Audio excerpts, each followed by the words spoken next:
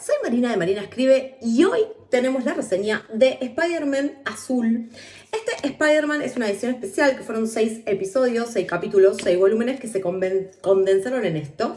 Se publicó entre el 2002 y el 2003. Está escrito por, eh, lo voy a pronunciar mal, Chef Loeb y eh, dibujado por Tim Sale. ¿Qué encontramos acá? Más allá de tener un poco de acción, el hilo conductor es un poco la nostalgia.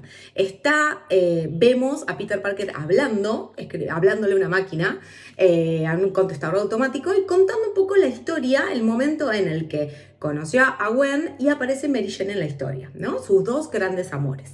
Y, pero en realidad lo que le está hablando es a Gwen. Y juega con esto de azul, porque azul es un poco como él se siente, ¿no? En ese momento. Entonces tenemos ese recuerdo, ese recuerdo de la facultad, de los amigos, y en el medio mucha acción, como siempre. El concepto que más me gustó fue esta sensación que él dice que él siempre se está balanceando y que cada vez que en su vida pasa algo muy bueno, pasa algo muy malo. Y cuando pasa algo muy malo, después viene algo muy bueno. Y así está todo el tiempo. Algo que me gustó muy bien y que lo banqué. Em, ¿Qué me pareció? O sea, les quiero mostrar un poco primero. Me encantaron mucho, mucho los dibujos. Es muy raro porque tiene una onda muy setentosa. Acá está Gwen.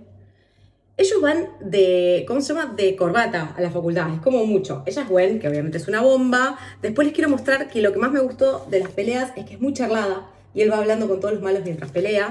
Y esperen que les muestro a Mary Jane, porque la vida. Eh, la verdad que me gustó un montón. Eh, me pareció súper interesante, me pareció una historia muy linda, tiene un lindo final y tiene una estética setentista, setentosa, que disfruté un montón. Así que eh, ya saben, Spider-Man es mi héroe preferido y mm, esto me gustó, recomendado.